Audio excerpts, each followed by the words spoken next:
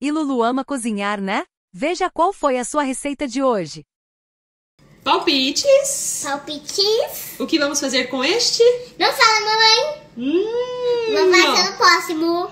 Tá bom, então, ó, o que vamos fazer com este abacate? Diz pra gente, o que, que vocês acham? Mas é, uma, mas é uma coisa de amassar. Isso, e muito gostosa. Muito gostosa. Ela é Não é uma fruta. Muitas dicas a Lulu É tá uma dando. fruta.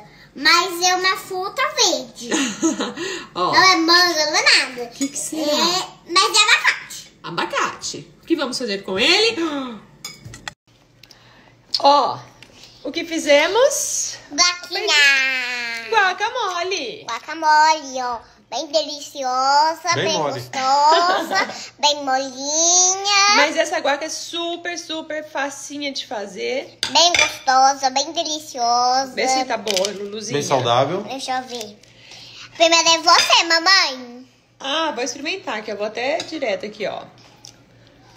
Hum, bom demais. Aí, Deixa eu ver se tá bom. Será que tá bom? bom? Será que tá gostoso? Vamos ver aqui, ó. você gostou, paizinho? Muito.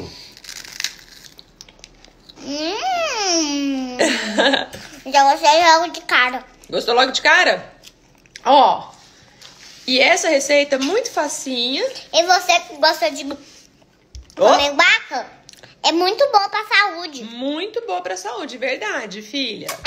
Então, não tá pronto Não tá ainda. Mas quando tiver, a gente vai vir mostrar, com Ele vai certeza. mostrar é, e nesses últimos meses. Isso, pode deixar. Mas é que a gente vai mostrar.